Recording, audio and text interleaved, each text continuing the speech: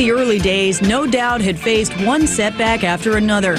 The shocking suicide of founding member John Spence, a poor selling debut album, and a record industry obsessed with grunge. By 1994, it seemed like their second album, Tragic Kingdom, might never come out at all. Things only got worse when frontwoman Gwen and bassist Tony ended their romance. We didn't know what we were going to do because how can you be in the band and how can you have a breakup like that? But we were so passionate about this record and everything that we just made it work. I think writing the songs and being able to have that whole weirdness kind of eased the pain. The new songs became an outlet for Gwen's heartbreak, and they were pretty heavy. I remember when I wrote Happy Now, and I was like so proud of it. You know, I was like, God, it's exactly what I'm feeling. And I just called him up and like, I finished Happy Now, you know. Well, let me read it to you, let me read it to you, let me read it to you. He's like, okay, you know.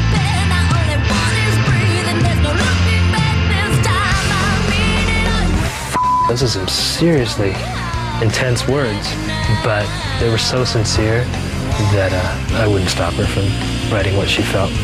Just as Gwen was coming into her own as a songwriter, her brother Eric decided he'd had enough of major label politics and quit the band. I think Eric just hated the idea of having someone else that he didn't know, kind of a stranger, come in and tell him, why don't you try it this way or try it that way. Eric just didn't see any reason for that. I really feel that I'm losing my best friend. None of us thought that record was going to come out. I didn't think anyone was going to hear those songs that I wrote about Tony, you know. There was talk about stopping the band. I mean, I remember Tony telling me, I think we should discontinue. We just figured we're going to put this out, it's going to fail commercially like the first one did, and then we're going to finish college and go on with our lives.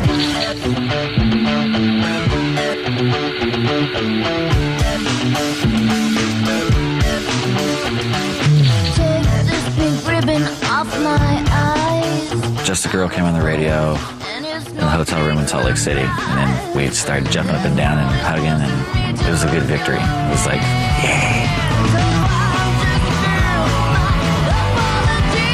a really surreal experience when they're announcing your song and talking about the band. It's hard to really describe in words how great that feels. The little ska band from Anaheim suddenly were radio darlings, regaining the attention of their label, Interscope. It was a really exciting time. The record's about to come out. We're out doing what we love to do, which is play live shows. And you get little glimpses of like how big things were actually getting. It was getting big so fast, the whole thing. We just, we couldn't stop. We had to just keep pushing through. We could see the light at the end of the tunnel. This record was going to come out now.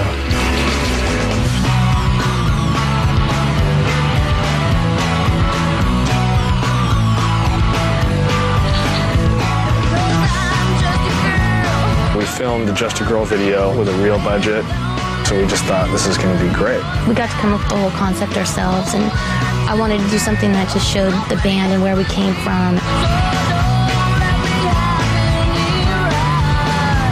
The house that we're at in the video, that's where we wrote all the songs for Tragic Kingdom. So it shows us packing all our gear up to go up to play this gig, and then they load into this girl's bathroom.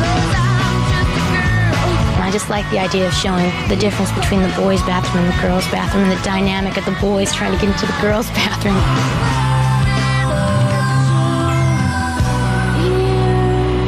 After shooting the video, No Doubt hit the road, this time in style.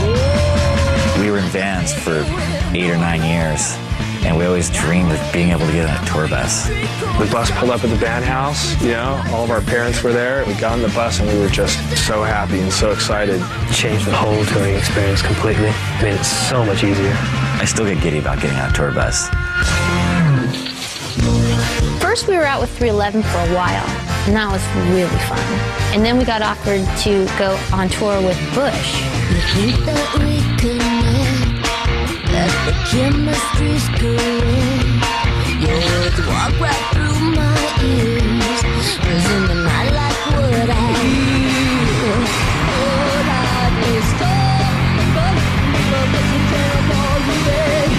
first big touring experience that we had.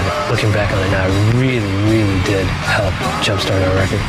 It was really fun to have a single. You know, you go out there and you play three or four songs and you have this arena of people going, Where's Bush? You know? And as soon as we'd pull out just a girl, it was like suddenly everyone's like, Oh, we know this song. And then we'd win them over.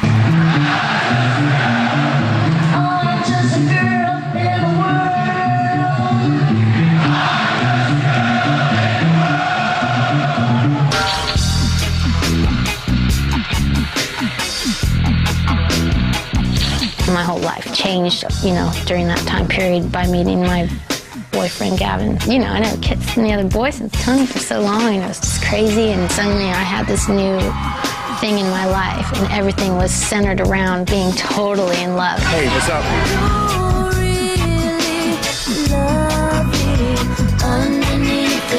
As Gwen and Gavin's love grew, so did the No Doubt Nation.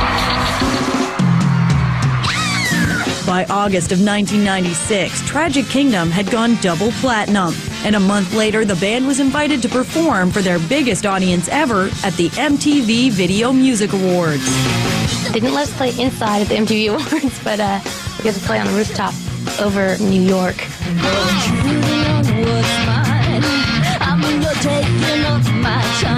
Any vertigo attacks there while you're up there? Adrian, I'm having one right now. I mean, I'm, I'm not in the house at all. This sucks. You look completely confident throughout. You had no problems at all. Do you weren't afraid you're going to pitch onto the bus or something like that? Um, no, but when I talk about it right now, actually, my hands are getting really sweaty, so I, I better stop thinking about it.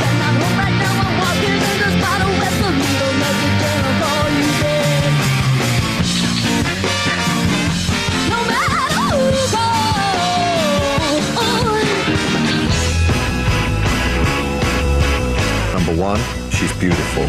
Number two, she's female. And she's going to get a lot of attention to the detriment of the other band members. We got the call.